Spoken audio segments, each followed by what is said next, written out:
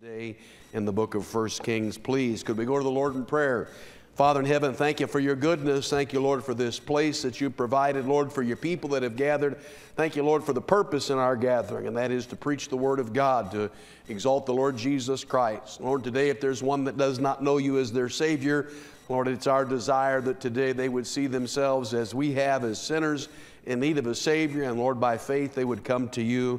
And then, Lord, if there are those today who are saved but struggling, Lord, we ask today that we would be helped and edified and built up in the faith. Lord, as we consider Elijah and his life, may we glean from that truth that will help us as we seek to pursue those things that you have purchased our souls for, Lord, that we might be fruitful for you in all things. In Jesus' name we pray.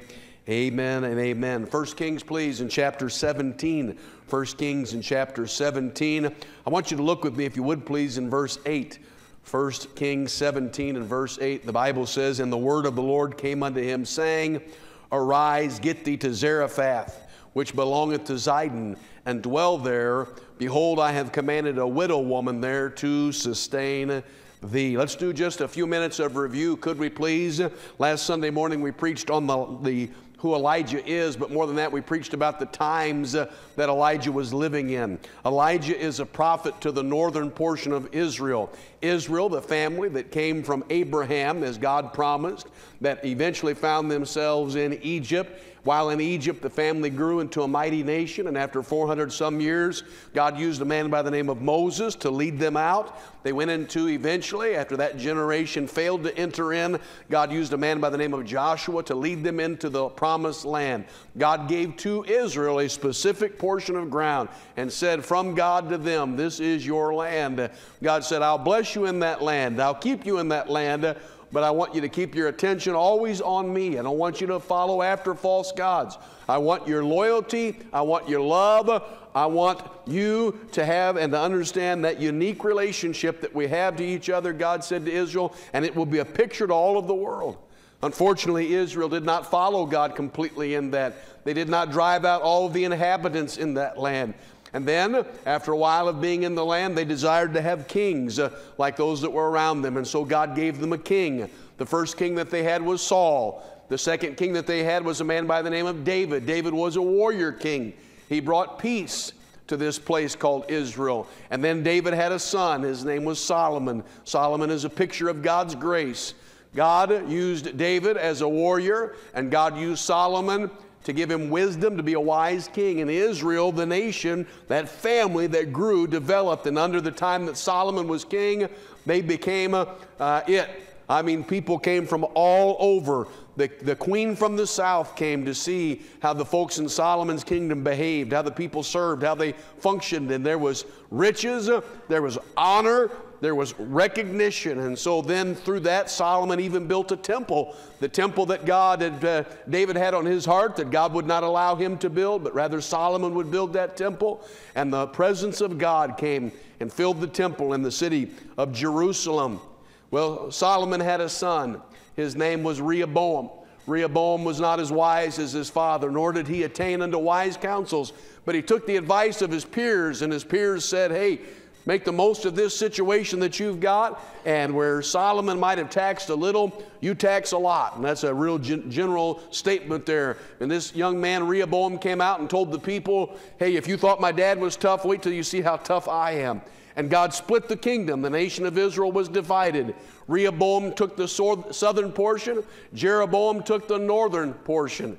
In the northern portion, they would have a capital city eventually. It would be called Samaria. Jeroboam was fearful that the people in the north would go to the south to worship God at the temple, and so he did something.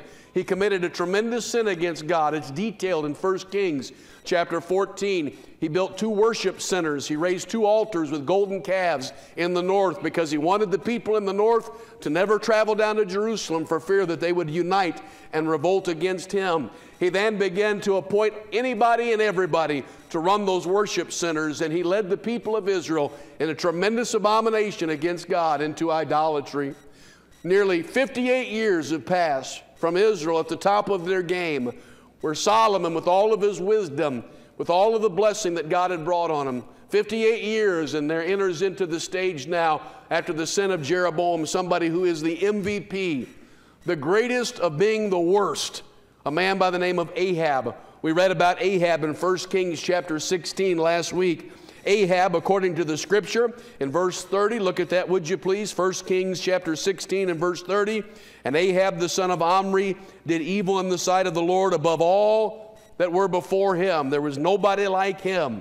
Verse 33 And Ahab made a grove, and Ahab did more to provoke the Lord God of Israel to anger than all the kings of Israel that were before him. We consider the times uh, that Elijah lived in. Elijah watched as the people, his people, the people of God, were turning away from God and raising up altars to Baal and a goddess by the name of Ashtaroth.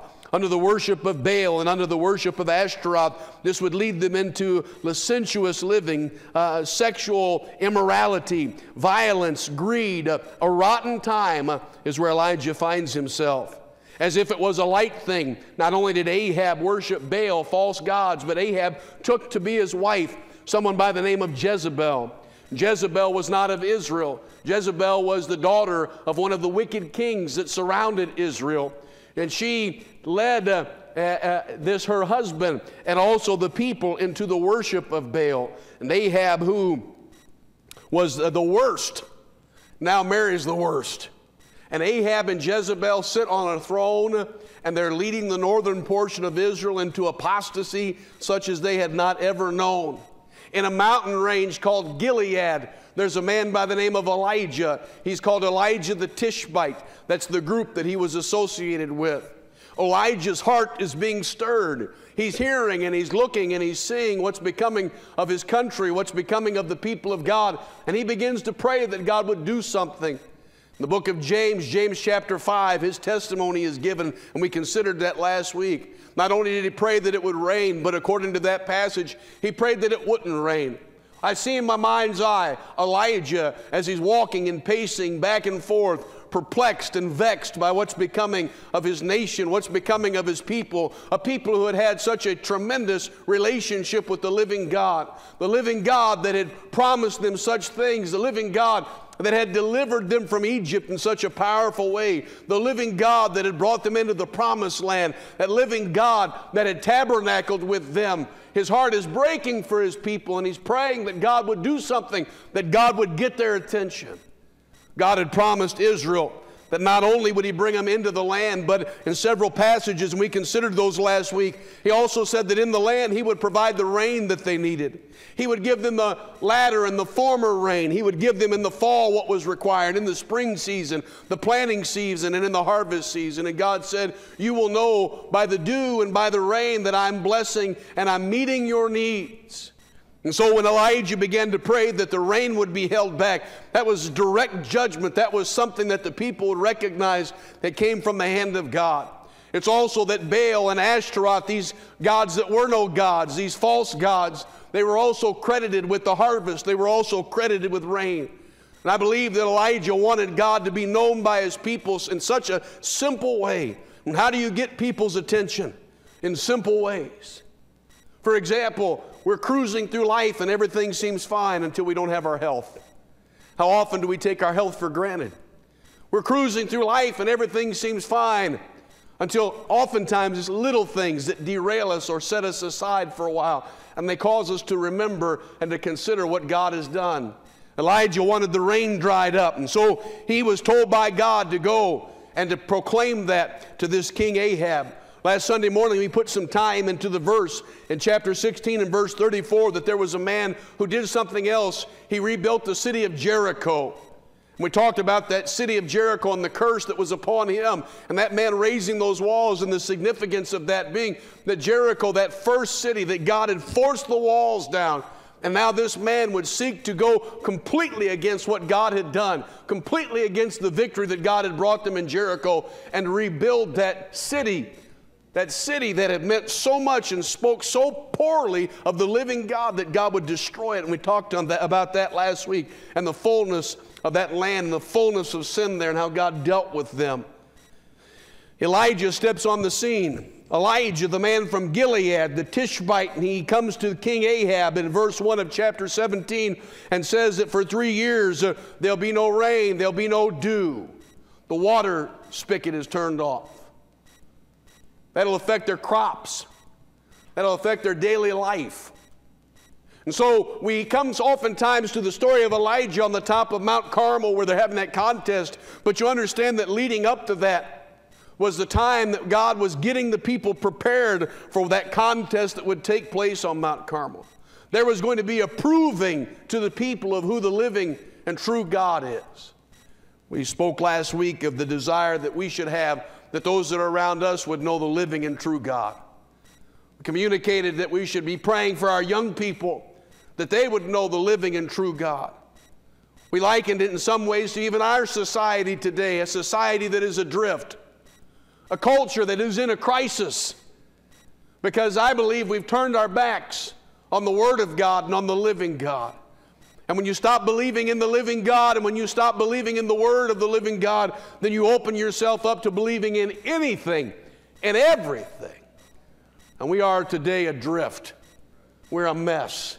That's easy to see and easy to say. And we debate and we have to legislate now such things that shouldn't even be discussed, such things that children shouldn't even hear of. We're now arguing whether or not they should be taught in the kindergarten in the first grade. Can only wonder what our founding fathers would think of the freedom that they fought and gave their lives that we would be able to enjoy, that we would be able to worship the living and true God. It's not our founding fathers' desires to keep God out of government, it was their desire to keep government out of God. They weren't not wanting God to be remembered. God is all over everything. By the way, today our nation, as other nations, are hated because of our Judeo Christian values and our heritage and our history. The enemy seeks to destroy our heritage and our history. And it's not so much personal to us as much as it is to this the Word of God and the truth of God. And Elijah had a strong burden for his people. He wanted them to know God. He wanted them to know the living God, the one true God, the God of Israel. So Elijah prayed, and God sent him to Ahab, and he faced Ahab, Ahab, that king uh, who had done more, according to the First Kings 16, to provoke God than any other king.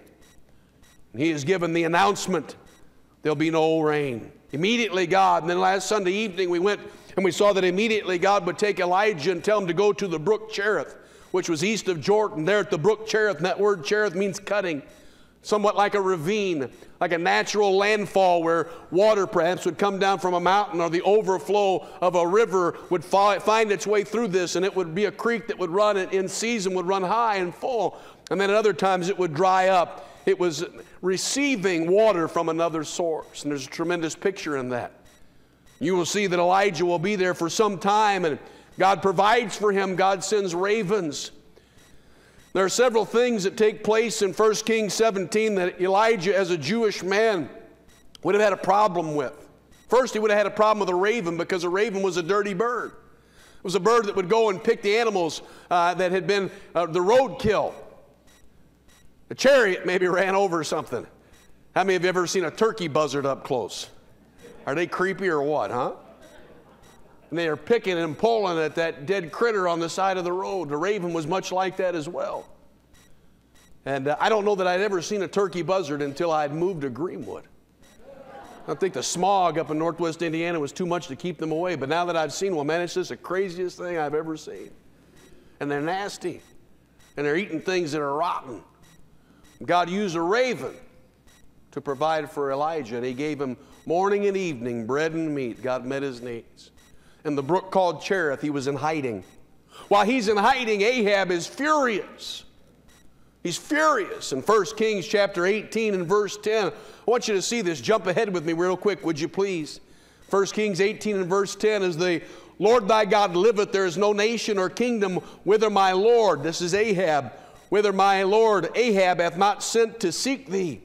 And when they said, He is not there, he took an oath of the kingdom and nation that they found thee not. And so while Elijah is at that brook Cherith, and he, every day the ravens are coming and they're bringing him meat and bread, and he's drinking of that brook, the rain and the dew have ceased. And maybe on that first week that Ahab went out and he noticed that the dew was not there that he was accustomed to. And perhaps they were beginning to travel through seasons where there was the expectation of rain and the rain was not there. Ahab began to get nervous. I don't know when it happened, but at some point Ahab said, Go and find that guy. Later on, when Ahab will confront Elijah, he will say of Elijah that he was the one who troubled Israel. He said, Find him. And they sent folks out to every country and every nation, and they asked, Hey, is this guy here? And they gave a description of this guy, Elijah. He stood out by the way he presented himself and the way he carried himself. Is he here? When folks would say he's not here, then Ahab would say, Swear to it. Swear to me that he's not here. Because in the event he is, and I find out, we're going to have a problem. Today in the Middle East, there are nations who harbor terrorists. They allow them to come in across their borders and hide and perform their activities, their terrorist activities. Some of the hubbub and to do there is what to do with those nations who would say, We're not hurting anybody, but we're harboring those that do. And Ahab's perspective was that it was Elijah who was causing the problems. It wasn't Elijah, was it? It was Ahab and Jezebel that had caused the problems. They were looking for him. And so God took Elijah to a brook, a place that's called Cherith, but also we know in the Hebrew word it's the word cutting. And last Sunday evening, we considered that place where the Lord was dealing with him. Five times in the chapter 17 of 1 Kings, you'll see something that alludes to the word of the Lord. You'll see the word of the Lord told Elijah to do something. You'll see where Elijah proclaims the word of the Lord. You see, we're going to come to a portion of Scripture that is one of my favorite. It's when Elijah will stand up on the top of Mount Carmel and he'll have a contest against the false prophets of Baal. But building up to that, God is developing and God is working in Elijah's life. God takes him to a place of cutting. God takes him to a place to see that God can provide for him and that God can protect him. And you and I now, as we look back on this story, we see exactly why God would take him to a brook where nobody was at, because he is being hunted now. The brook dries up. We closed with that last Sunday evening. There are times in our lives when the brook dries up and God is stirring us and moving us on. The Bible then, as we read a moment ago in 1 Kings chapter 17, and the word of the Lord came unto him, saying, Arise, get thee to Zarephath, which belongeth to Zidon that's significant to us. That's a city and a country. And that city and that country are about 100 miles away from where Elijah is at. In order to get there, he's going to have to travel across tough terrain, dry terrain to get there. A land that is going without rain and dew. And now God is calling Elijah on a difficult journey.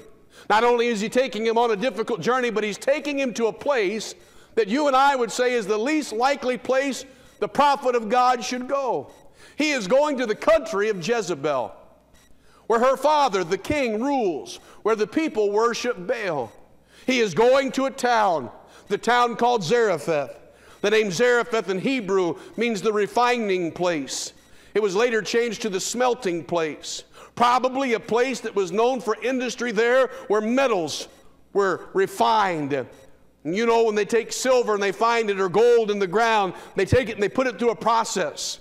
That process is heating it up, melting it, and drawing the dross or drawing out of it the things that are not good. That's the refining process. First Peter says to us that the trial of our faith is more precious than gold. You see, the refining is what Elijah will need. Elijah called now by God to go someplace on a great journey at a great distance through a dry land and to come now and to be cared for by someone. Remember, the ravens would have been a problem for him as a Jewish man to have a dirty bird feed him. There were rules and laws about touching those things that were dead, and yet that's how God chose to care for him. Look at verse 9 Arise, get thee to Zarephath, which belongeth to Zidon, and dwell there. Behold, look at this. I have commanded a what? A widow woman there to sustain thee. Now, I don't know that it has the connotation to us that it would have had to Elijah.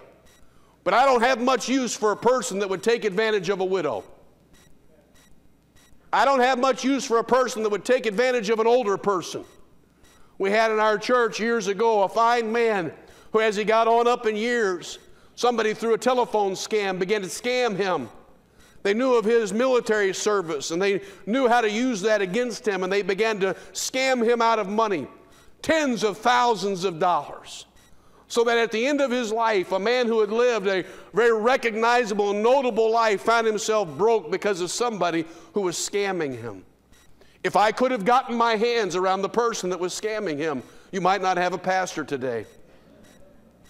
I was furious to find out about this and furious to find out that these people weren't necessarily even operating inside our country.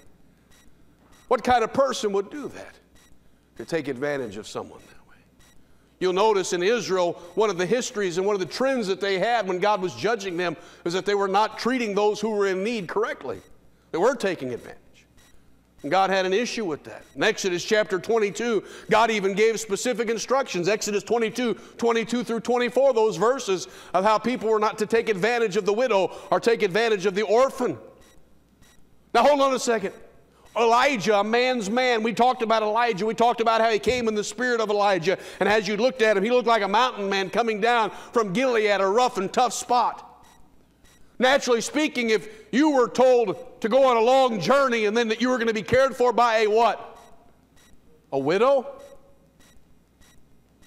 A widow? Culturally speaking, that was somebody who had nothing. She would be the one who should receive from him, not him from her. But you see, God was doing something in this business of being refined, it is important for us to see that there are things and areas of our life where God would bring us that require patience. Patience. Patience to make that long journey. Patience to see what God is doing. Patience to wait on the Lord. So, Elijah does exactly what the Lord tells him to do. He heads in that direction. Verse 10 He arose and went to Zarephath, and when he came to the gate of the city, Behold, the widow woman, the widow woman, the one that God was going to use, was there gathering of sticks. Why was she gathering of sticks? Because she had no resources to purchase those things by which she could have a fire. She was outside the city because she was destitute. I've seen those pictures before of people who find themselves in difficult places, at times war torn, or perhaps in lands uh, where it's complicated, even in building a fire. I've seen even pictures here in America for folks who lived in the big cities back when there was times of depression and they wanted to have a fire to warm their home in the midst of winter and they took furniture and they chopped furniture up to be able to have a fire to be able to have warmth. We're a spoiled generation. We don't know what tough times are. This widow was experiencing tough times and she's outside of the gate and she's gathering sticks to build a fire when Elijah sees her in a very gentlemanly, uh, I believe, appropriate way, he asks her for a drink of water. This is not the first time we've seen something like this. When Abraham sent his servant to get a bride for his son Isaac, the servant didn't know how to find out who it was that would be that bride, and so he approached also an area and he saw a young lady there and he asked for water. And not only did she give him water, but she watered his camels as well. And he knew then that this would be the bride for Isaac. Perhaps for that in his mind, he set out and he asked for water. I pray thee, fetch thee some water. And he went from that and look at verse 11. And as she was going to fetch it, he called to her and said, Bring me, I pray thee, a morsel of bread in thine hand. She was going to get the water. And now he asks for a morsel, morsel of bread. Uh, maybe one would look at that and say he's pushing it. But he asks. Now I want you to hear her response, please. Verse 12, and she, this is the widow, the widow who's so poor and without, she's outside the gate looking for sticks to build a fire. And she said, As the Lord thy God liveth. See that word thy? What is she saying? Your God, whoever it is that your God, whoever you stand in front of, thy God liveth. I have not a cake, but a handful of meal in a barrel, and a little oil in a cruse. And behold, I am gathering two sticks, that I may go in and dress it for me and my son, and that we may eat it and what? Die. Anybody here ever said, I don't have two sticks to rub, two pennies to rub together? Ever felt that way before? That's how she felt. I've got two sticks, and I'm getting ready to do something, sir. I don't know. In the presence of your God, let me tell you what my life looks like. I've got these two sticks that I've gathered. I'm going to go home. I'm going to make what I can, and my son and I are going to die. Hold on. That gal needed Elijah as much as he needed her. You ever stop to think that God brought Elijah there to her to hide him and to provide for him, but also in doing that, that widow was cared for. We'll see later on in the story in an even greater way. Hold on. Elijah, God has called you to a difficult place, uh, uh, not seemingly the right place. God has called you to go and to have a widow care for you. Not just any widow, a broke, poor, impoverished widow who isn't just running on fumes. The gauge is at the E and the light is flashing. How many of you know what I'm talking about? You ever drive and you see that you're close to E and think, ah, I get a little further, and then you get down to that mark, I'm almost there, and then the light begins to flash. And what that what that light is saying is, hey, you big dummy, what's it going to take to get you to stop and get gas, right? Ah, I think I can make it. How many have ever ended up on the side of the road saying to yourself, I thought I could make it? The last time I did that, I almost made it in, right? She's running on fumes, she's running on empty. I don't blame her. Here's a stranger that's come to her. She doesn't necessarily know all that's happening, it's just that he's asked for water and he's asked for bread. Sir, don't have it to give to you. Now I want you to see here. And Elijah said unto her, Fear not. Well, I love those two words. I hear the voice of the angels as they say, What? Fear not. I hear the voice of the resurrected Savior as he says, What? Fear not. I see it in the book of Revelation where the Lord Jesus says to John, Fear not. The enemy brings confusion and the enemy brings fear. You see, when there's fear, there is a fight against faith. Everybody here has things that stir us. Everybody here has things that cause us to be fearful. When we were children, we were afraid of things that were silly and things that weren't even necessarily reality. But as we get older and we live a little, we recognize things that cause real fear to us. We go and we visit those who are infirmed or we visit those who are in a difficult place, and it becomes our fear then that someday I would end up with that situation. When we're young and dumb, we expected everything will work out pretty good. And then we live long enough to see that not always do things work out the way we expected them to. There is always an occasion for fear. But there's something that God wants us to have in our connection and our relationship to Him. And that is, God does not want us to be fearful in that sense. Oh, that's not to say we're not to be in awe of God or to fear the person or the position of God. But let me tell you something God commended His love toward us and that while we were yet sinners, Christ died for us. Romans chapter 5, we are now at what? We're at peace with God. I have good standing in my relationship with God because of the Lord Jesus Christ. I understand who I am, why I am, I understand where I'm going, and I understand how I'm getting there. I don't understand everything about here and there, and I don't understand everything about there, but I know enough to know I don't need to be afraid of those things. Fear not while you're living today, maybe even in a time where fear, fear sells, stirring people up and causing people to be afraid because fearful people will sometimes make poor decisions. Fearful people will sometimes give up things that belong to them in order to not be afraid. Sometimes fearful people will put their hope in things that aren't real. Elijah says to her, Fear not, go and do as thou hast said, But make me thereof a little cake first, and bring it unto me, and after make for thee and for thy son. For thus, 14, saith the Lord God of Israel, the barrel of meal shall not waste, neither shall the cruse of oil fail until the day that the Lord sendeth rain upon the earth. Elijah said, Ma'am, go and do what you said. You said you were going to go and make that meal. You go and do that, but I want you to mix up your order a little bit. I want you to make mine first. Now, why in the world would Elijah get his first? Because Elijah was so much more important than her son and so much more important than the widow? No, because Elijah represented something. Elijah represented the Word of God, Elijah represented the things of God. And what was being taught here was that even in the midst of testing, even in the midst of refining, we've got to have the right priorities. We've got to put God first. Seek ye first the kingdom of God and His righteousness, and all these things shall be added unto thee. We say, Preacher, we're living in times of turmoil, we're living in times of crisis. I'm afraid. Listen, Seek Him. Seek His will. Seek His way. Give Him His priority. Put God first. Put God in the middle. However, you like to describe that to me, it's not a list of priorities or of importance. God is the list. And when I love Him as I should, and when I'm obeying Him as I should, that will align all relationships and directives in life when God gets His place in my life. And allow Him to have that. Feed me, and God will care for you.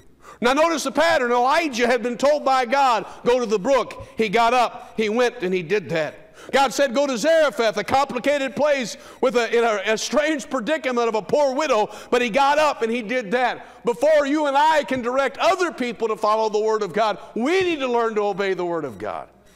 One of the problems that we have generationally is we've done a really good job in telling people what to do and not showing them that practice in our own life.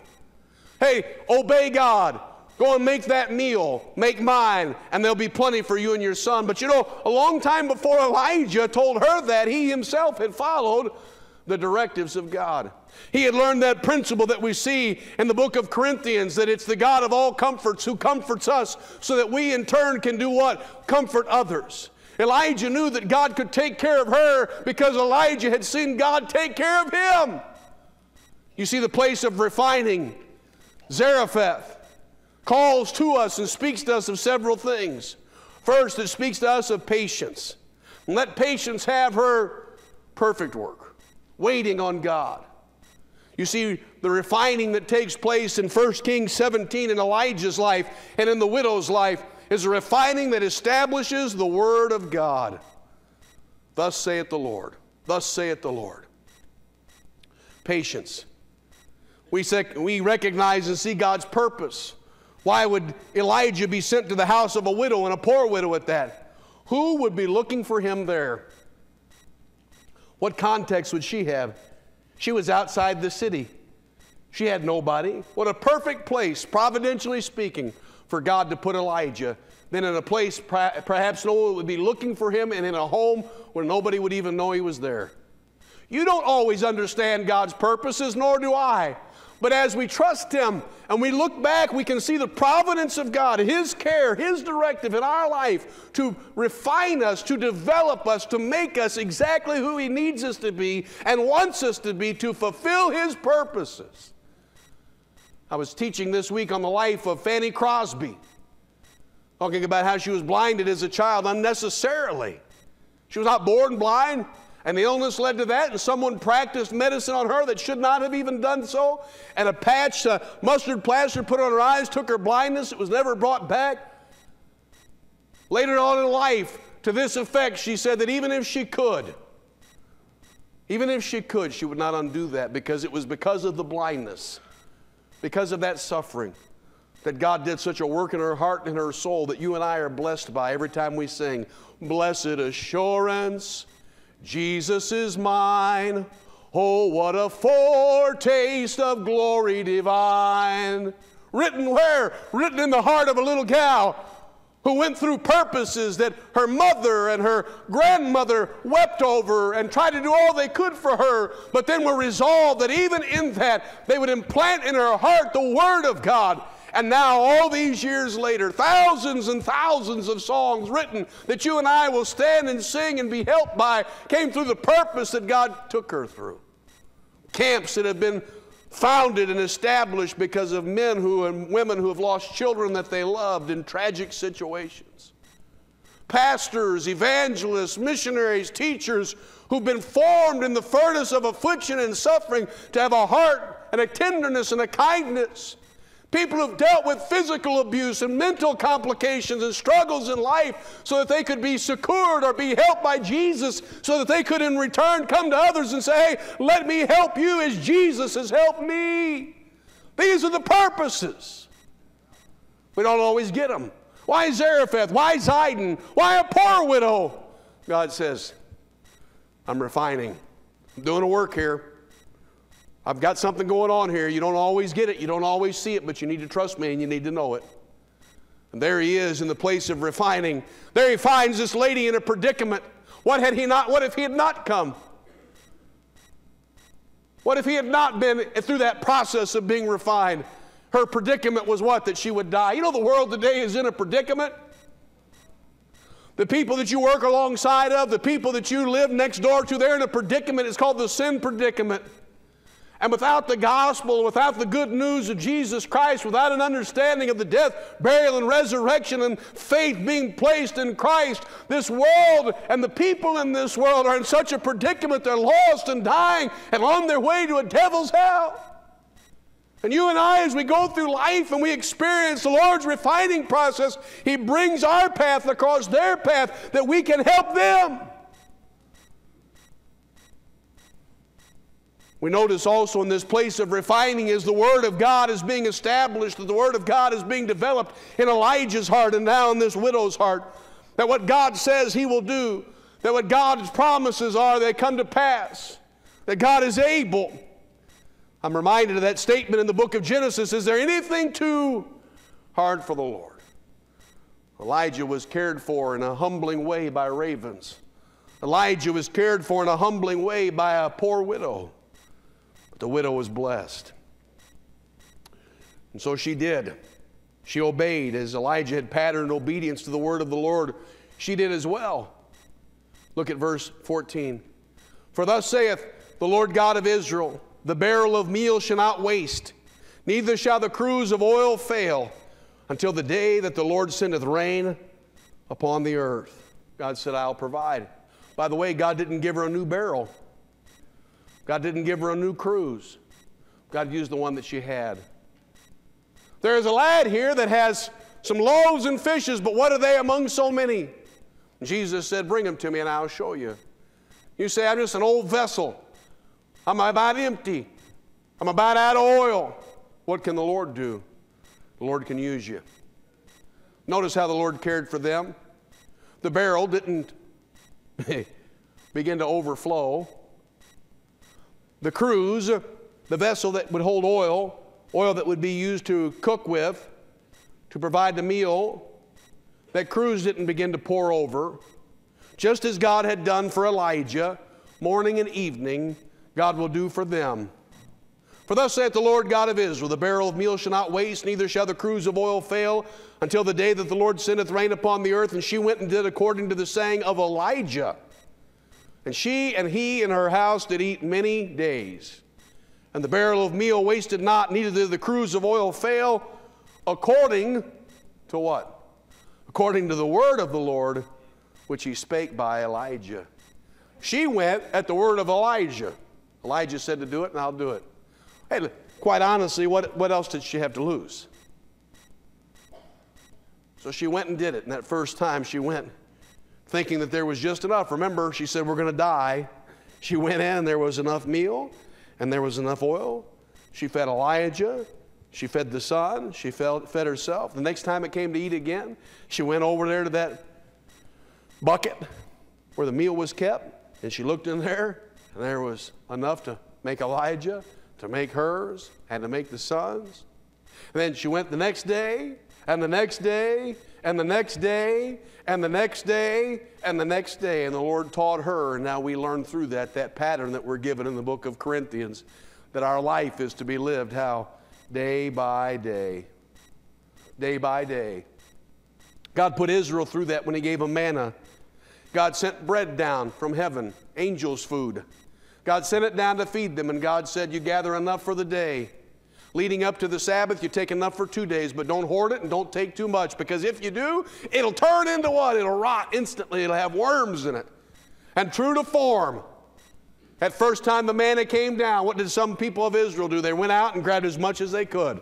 And they brought it in and they stored it, and just as God said it would, it rotted on them. And God was teaching them a lesson. It's the same lesson that He's trying to teach us, and that is day by day. How are we living this life? Day by day.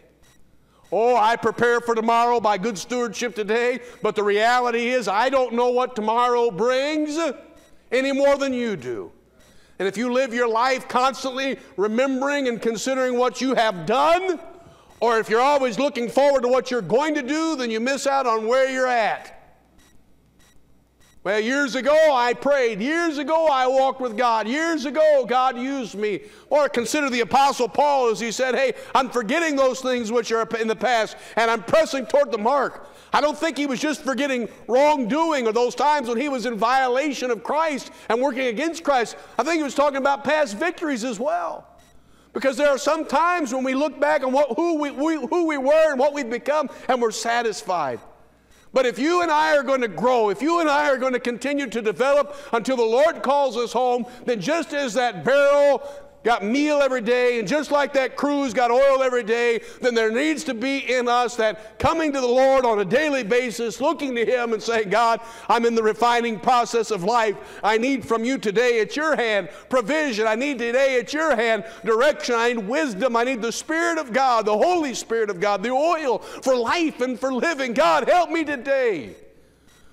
So oftentimes we become like those in the scripture who are settled on their lees. We go as far as we're going to go, we grow as much as we're going to grow, and then we just sit. And we become stagnant. But a barrel that is in constant need of supply, a cruse that is in constant need of supply, getting from the provider what is required for the day. Do you suspect that every time she got that there, I would have to think that every time she went to the barrel, she would look, there's enough for today. Thank you, God of Elijah. Hey, Elijah might have said, Was there enough oil for today? Yeah, just like I said.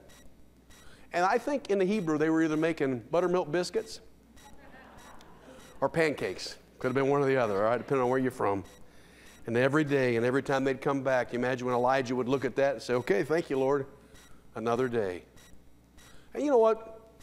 Isn't that really the reality of things? We're living day by day, trusting the Lord each and every day. This walk. So Elijah gone to a refining place, patience. God's purpose is unfolded, the predicament of those that were around him, and then I want you to see the provision that God had. A day by day provision. And this gal had her priority. She put the request, the direction of the Lord first. Priority right, plenty of provision. This evening we'll come back together we will see how the worst thing, I believe, to the widow could happen in her mind, in her perspective. God has met her needs thus far, and God will continue to meet her needs. Are you today in a refining place? Do you find your day to yourself today in a place that requires extra patience? Do you find yourself today looking for the purpose? Do you see sometimes a need for a restructuring of our priorities? Maybe it's today provision. Trust in the Lord. The world is stirred up right now. Some trust in horses, some trust in chariots, huh? Some trust in the GOP, some trust in the. Di- Moving on. Some people are trusting in all sorts of things, but where they need to be trusting is where? In the Lord. Let's pray. Our heads bowed, our eyes are closed. Father in heaven, thank you for this time we could spend in the Word of God. Lord, to be directed in that. Lord, help us now as we consider Elijah. We consider this refining in his life. Patience. Uh, Lord, your purpose. Lord, priorities. Lord, to recognize what you're doing, to trust you. Lord, also then in your provision. Lord, may we not grow stagnant. May we come to that barrel each and every day looking for that day's supply, looking to you, trusting you, rejoicing in each and every day, Lord, that which you'd accomplish. Lord, help us to live in that fashion. Our heads are bowed and our eyes are closed. Who's here this morning? You say, Preacher, I don't know for sure that I'm saved. I don't know for sure if I were to die today that heaven would be my home. I have questions about that. I have concerns. I don't know that. I don't know that I'm saved. Last week we had a couple of folks raise their hand and we were able to communicate with them the gospel. And we'd love to do the same with you today. Maybe you don't know those things. You don't know that you have eternal life. You say, Pastor, please pray for me. I'm not sure that I'm saved. I'm not sure if I were to die today that heaven would be my home, that I would be in the presence of the Lord. And you'd say, Preacher, please pray for me. I don't know that I'm saved. Who would say that? Preacher, please pray for me. Would you lift your hand that I might pray for you? I see your hand. I see your hand. Who else this morning would say that today? Preacher, I don't know for sure that I'm saved and on my way to heaven. I'd like to know that.